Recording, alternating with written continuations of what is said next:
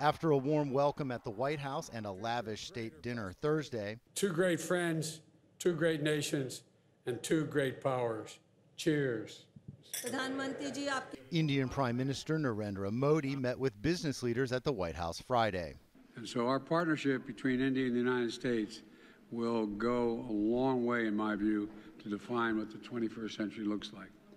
And our technology, technological cooperation will be a big part of defining our partnership. The U.S. is using the trip to draw India closer militarily and economically. Modi has used the trip to highlight investment in India. The two countries used the Prime Minister's visit to announce an easing of visa restrictions for skilled Indians seeking employment in the U.S. and the resolution of six long standing trade disputes, lifting tariffs on steel, aluminum, chickpeas, and other goods.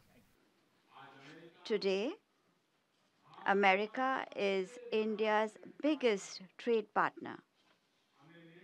We have decided to resolve long pending trade related issues and make a new beginning.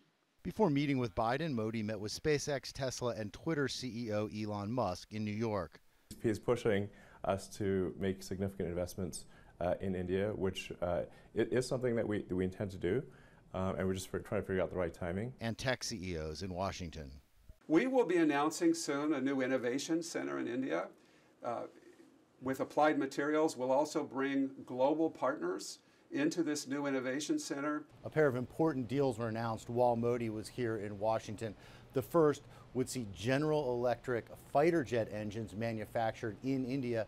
The second would allow India to purchase armed drones from a U.S. manufacturer. These are technologies not generally shared with non allies. The multi billion dollar deals are designed to reduce India's reliance on Russian arms.